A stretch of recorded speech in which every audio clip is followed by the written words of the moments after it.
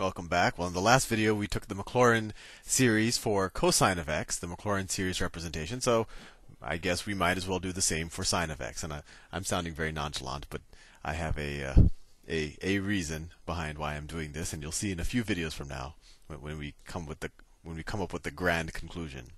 So anyway, let's just set f of x. And you might just want to do this yourself, and instead of watching me do it, because um, it should be pretty self-explanatory now. Now that you saw cosine of x, but um, and then you could check your work. Uh, you pause right now, and then you can check to see that we got the same answer. And you'll probably be right, and I probably made a careless mistake. So f of x is equal to sine of x. So first of all, let's just figure out all of the derivatives of sine of x, and we can already guess that it probably cycles similar to cosine of x, with slight variation. So what's the derivative of sine of x? Well, that's just cosine of x. What's the second derivative? I'm just going to stop putting parentheses around these numbers. The second derivative, well, that's just derivative of that. It's minus sine of x. The third derivative of x, well, I guess I'll put the parentheses so you don't think it's f to the third times x. The third derivative, well, that's just going to be the minus cosine, right? Because the derivative of sine is cosine, but then we have that minus sign there. Then the fourth derivative, well, derivative of cosine is minus sine, but we have a minus there, so we get back to sine.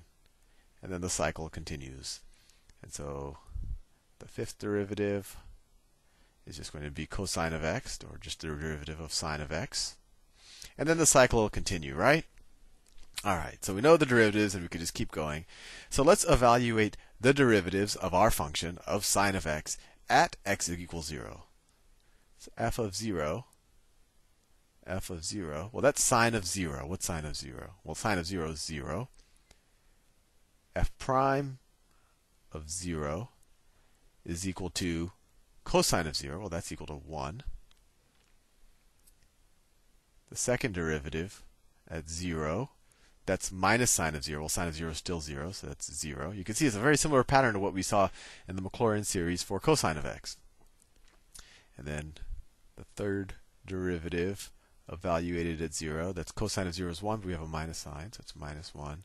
This you already know, the fourth derivative is 0, sine of 0 is 0. And then it starts to cycle again.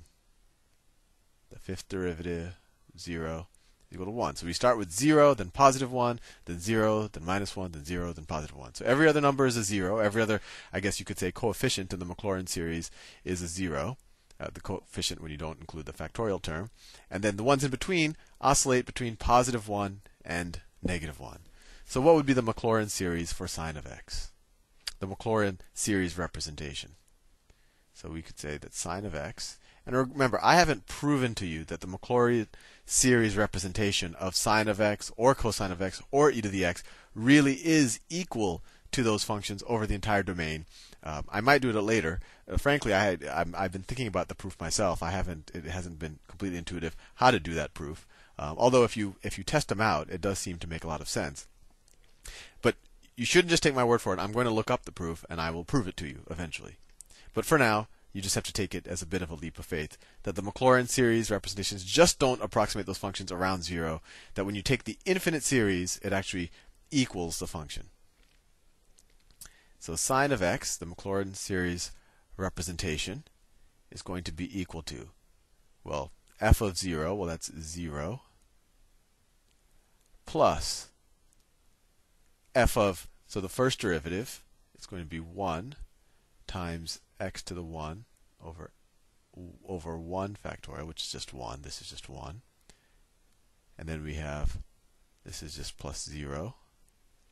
And then we have minus, and now we're this is the third derivative, right? So minus 1 times x to the third over 3 factorial. And then we have a 0.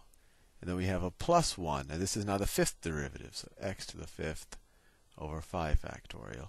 And we'll just keep going. But I think you see the pattern. If let me write it, rewrite it.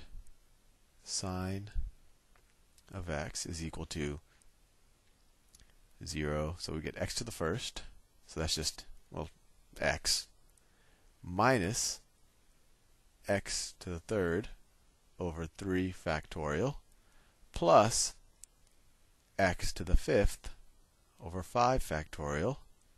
And then you can imagine the pattern. We'd go minus, we're just taking the odd numbers, x to the seventh over 7 factorial, plus x to the ninth over 9 factorial, minus x to the 11th over 11 factorial, and we'll just keep going, right? And so we're we'll just keep oscillating in time in in, in uh, sign. That's a bit of a pun and we use all of the odd exponents. So if I were to write that in sigma notation, I would say, well, that equals, and sigma notation often is the hard part. Well, once again, let's see, the first term, when the term is 0, well, when the, this is the first term, right? And we get a positive sign. So we want, because we're going to oscillate in sign, we're probably going to take negative 1 to some power. So it'll be negative 1 to the n plus 1, because we want every so let, us see if that works. If this is the first term, this will be a no, no, no, no, that won't work. It'll be to the 2n plus 1. And actually, I think I should have done that in the previous video too. I think it should have been negative 1 to the 2n, not negative 1 to the n. I, I'm sorry for that mistake. Right, so it's negative 1 to the 2n plus 1 times x to the x to the 2n. Oh no no sorry I was right in the previous video. See I'm I'm confusing myself because I don't count the zero terms. So let me probably help me to write the sigma down first. So this is equal to is equal to as you can see I do all of this in real time. Infinity from n is equal to 0. And so the first term is positive, so it'll be negative 1 to the n right? Because negative 1 to the 0 power is 1. Right? So that's positive. And then the second term is negative, then positive, negative, right? Times. And so what is the zeroth term is is x. So it has to be x to the let me see 2n 2n plus 1 does that work right because the first term would then be 3 right x to the 2n plus 1 over 2n plus 1 factorial. It's almost easier when you just write it out like that. Well, that's pretty interesting. But what's even more interesting is if you see the similarity between the Maclaurin series representation for sine of x and then the representation we figured out for cosine of x in the previous video. We figured out that cosine of x is equal to 1 minus x squared over 2 factorial plus x to the fourth over 4 factorial minus x to the sixth over 6 factorial plus x to the eighth over 8 factorial. So they're almost the opposite, right? They, they, they almost complement each other. The cosine, these are all of the even exponents, right? And even factorials.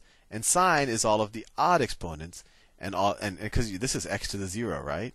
So that's why you get one here. And in sine, it's all of the odd exponents and all of the odd factorials in the denominator.